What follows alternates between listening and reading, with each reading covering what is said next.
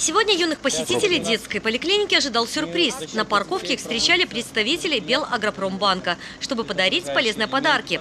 Брошюра, которая в игровой форме учит детей финансовой грамотности, фликер и воздушный шар для хорошего настроения. Госавтоинспекторы, в свою очередь, напоминали правила поведения на дороге. Это совместная акция под названием «Безопасный маршрут. Детский путеводитель по дорогам и финансам» в преддверии летних каникул и Дня защиты детей.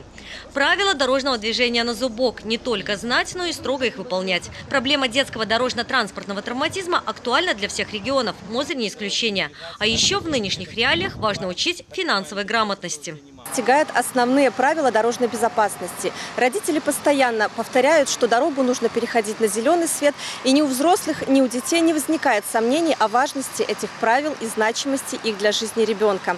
В настоящее время настолько же важно, чтобы родители были в отношении детей финансово грамотными и учили их с самого раннего детства основам обращения с финансовыми и банковскими сервисами, безопасными платежами. Именно поэтому Белагопромбанк совместно с Госавтоинспекцией посчитал важным в канун летних каникул и Дня защиты детей напомнить родителям и детям правила финансовой и дорожной безопасности и провести мероприятие «Безопасный маршрут. Детский путеводитель по дорогам и финансам». Как показывает практика, лето – это самая травмоопасная пора года в плане детского дорожно-транспортного травматизма. А учить безопасному поведению должны в первую очередь родители. Ну, конечно, это, я считаю, правильно. Нужно обучать, чтобы дети э, ну, через пешеходный переход сюда переходили, смотрели, как говорится, налево в первую очередь, направо, чтобы не было машин. Ну, считаю, да, это правильно. Надо этим заниматься, чтобы все-таки, как говорится, безопасность на дороге – это самое святое, потому что мало ли ребенок может выскочить в любой момент на любом участке дороги.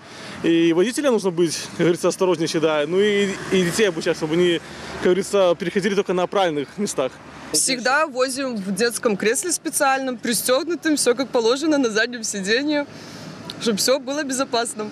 С начала года в Мозырском районе произошло два дорожных происшествия с участием детей. Оба факта имеют схожую фабулу. Водители не предоставили преимущества юным пешеходам на нерегулируемых переходах. Госавтоинспекторы обращаются ко всем участникам дорожного движения с просьбой быть осторожными и неукоснительно соблюдать ПДД. Виктория Синицкая, Вячеслав Пересыпкин, телеканал «Мозырь».